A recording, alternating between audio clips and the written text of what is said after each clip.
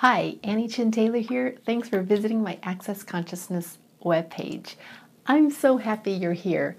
I have an inkling that you might be visiting the Access Consciousness website because you're looking for something different that can help you change what isn't working for you in your life. You're looking for something different. So, what's really cool about the Access Consciousness tools is one, they're simple, two, they're easy to use, and three, you can use them anytime and anywhere. I've used them while I've been traveling. I've used them while I've been lying in bed. I've used them when I've been out with friends or family. I've used them while I've been showering. Anytime, anywhere. Okay, so I want to share one tool with you in this video that you could start using as soon as you're done watching the video to shift any point of view that's limiting you. So, this is based on the idea that your points of view create your reality. So, if something's going on in your reality that isn't working for you, what if you have some unconscious or conscious points of views that you're functioning from that are that's creating that? Okay? So, what if you could change the energy behind that point of view? Okay, so this is how it goes. It's called interesting point of view. I have that point of view. It's just an interesting point of view. All right, so let me give you an example of when I used this with a, with um, somebody and it shifted her reality. Okay, I do presentations. Um, I present the Access Consciousness tools to groups of people, and one group that I was asked to present it to was um, some teenage musicians at a local music festival.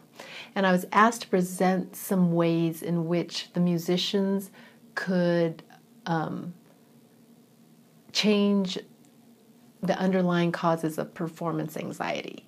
One of the young ladies came up to me, and let's just say her name was Mary. And she said, Mrs. Taylor, can you help me change something? And I said, Sure, what's, what's up, Mary? And she said, Well, when I'm up on the stage and we're playing, the orchestra is playing, you know, the music, and I know I'm approaching a hard part in in the piece, I hold my breath because I think I have to really focus on the hard part, and if I don't focus, then I'm going to mess up. And she said it's a problem because it, when she stops breathing, her diaphragm starts hurting. Okay, so she's trying to play this piece while her diaphragm's hurting. So I looked at her and I said, Mary, that's an interesting point of view that you have. You have the point of view that if you stop breathing, you'll be able to play the hard part. That's just an interesting point of view. That's an interesting point of view, Mary, that if you stop breathing, you'll be able to focus on playing the hard part. That's an interesting point of view. Interesting point of view. You have the point of view that you can only play the hard part if you're not breathing. Okay, so I ran through that interesting point of view kind of process with her like three or four times, and I was following the energy to see how the point of view might sh- be um, shifting a little bit. And after three or four times, I felt something release, the energy shift. And now Mary never had any experience with energy work before. And so after I felt the energy shift, I said, Mary, I don't know if you noticed it, but something changed. And she said, I felt something, Mrs. Taylor. So um, later that evening was the culmination of the music festival, and they had their big concert. And so when I was in the lobby, um, I saw her, um, but there were lots of people around. And so I yelled over to her. I said, Mary. And she looked at me and I said, How'd it go? And she gave me a big thumbs up. Well, when you're acknowledging that a point of view is just interesting, it's not right and it's not wrong, it's not good and it's not bad, you're taking yourself out of the judgment of it being right or wrong. And so when you have bought into a point of view as being right or wrong, you're making it significant.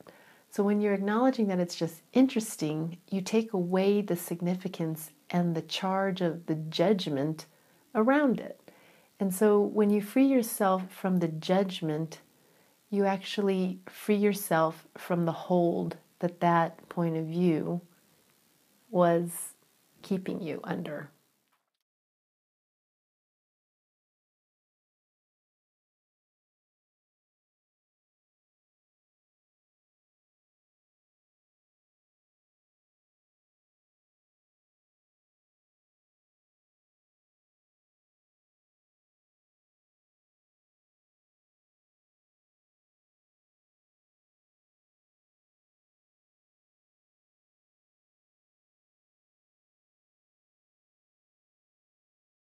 So, what if it could be that simple to change a point of view and as a result, change your reality? How cool could that be? So, I hope you can use that tool and change points of views that um, are creating limitation in your world. And yeah, what I'd love to invite you to do is if if this was a contribution to you and you'd like to get more information from me about my classes and other tips and tools, then um, click the link in the description up above, um, the information up above, to get my free ebook, Getting Started Three Questions to Generate Magic with Your Money, Your Relationships, and Your Health. So, thanks for joining me here, and I hope to meet you someday.